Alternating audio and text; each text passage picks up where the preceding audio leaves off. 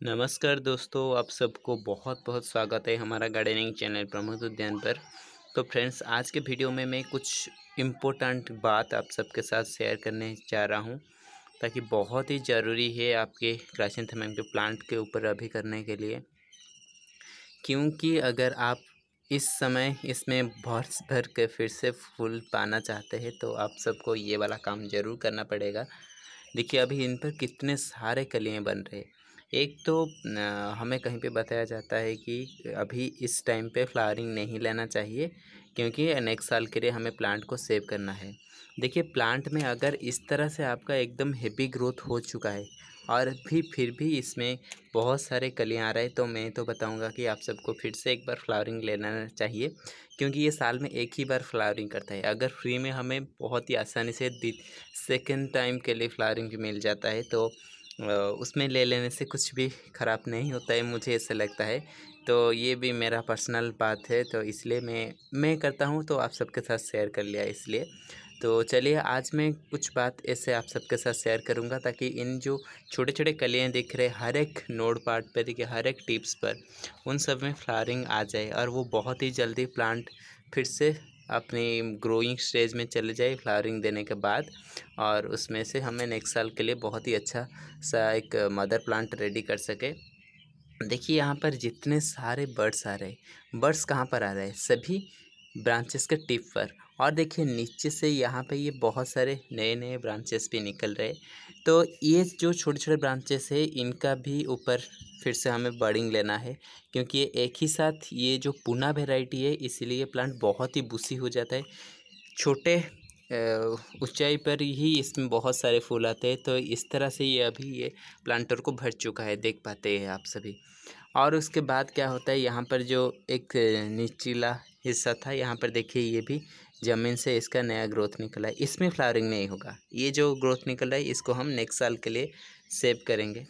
Mother plant का काम कर सकता है वो। और ये जो सभी अभी कलियाँ आ रहा है, मैं, मुझे लगता है कि ऐसा ये बार फिर से फ्लावरिंग करेगा, क्योंकि लास्ट टाइम मैं ये कटिंग जहाँ से लाया था, उनके पास भी मैंने देखा था, वहाँ पे दो दो बार वो फ्लावरिंग किया था। और इसीलिए मुझे भी लगता है कि इस बार मेरा ये प्लांट बहुत ही अच्छी तरह से फ्लावरिंग करेगा, क्योंकि अभी ये सभी जितने भी कलियाँ आए हैं, वो सभी ग्रोथ भी कर रहे हैं। ये काफ़ी दिनों से बड़े हो रहे पर धीरे धीरे थोड़ा सा हो रहा है, क्योंकि अभी समर सीज़न हमारा यहाँ पे आ चुका है, बहुत ही तेज़ धूप निकल रहा है। इसलिए इनको, इनके ऊपर थोड़ा सा ऐसा क्या काम करेंगे ताकि आसानी से हम इनके फ्लावरिंग को एंजॉय कर पाए और बाकी ये प्लांट को फिर से हम नेक्स्ट साल के लिए सेव कर ले। तो चलिए बिना देर के शुरू करते हैं आज का शेयरिंग और ये छोटे छोटे काम जो करना है। पहला काम होता है इन पौधों के ऊपर ये जो बड़े बड़े लीव्स है, इनके कारण प्लांट बहुत ही बुस्सी हो जा रहा है। तो मैं क्या करूँगा? अभी इनको हटा दूँगा। तो देखिए मैं कैसे हटाता हूँ, उसी प्रकार आप भी हटा देंगे आपके प्लांट से।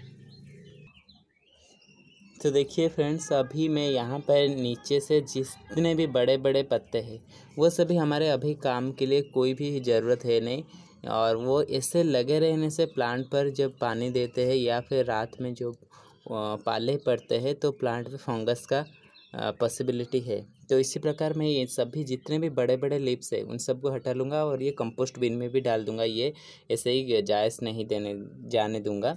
और इसी प्रकार मैं प्लांट को लास्ट टाइम भी प्रूनिंग किया था, जब पहली बार फ्लावरिंग ख़त्म हुआ था विंटर सीज़न में तो मुझे लगता है कि इसीलिए यहाँ पर इतने ज़्यादा अच्छा ग्रोथ आया हुआ है, क्योंकि नीचे तक मुझे सनलाइट मिल रहा था प्लांट को, मेरे प्लांट को, और वो नीचे से बहुत ही अच्छी तरह से बुसी होकर निकल आया है।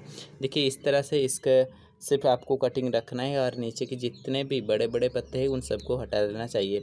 तो चलिए मिलते हैं ये सभी प्लांट के पत्ते को बड़े बड़े जितने भी ज़रूरत ना हो पत्ते, इसी तरह पत्ते को निकालने के बाद।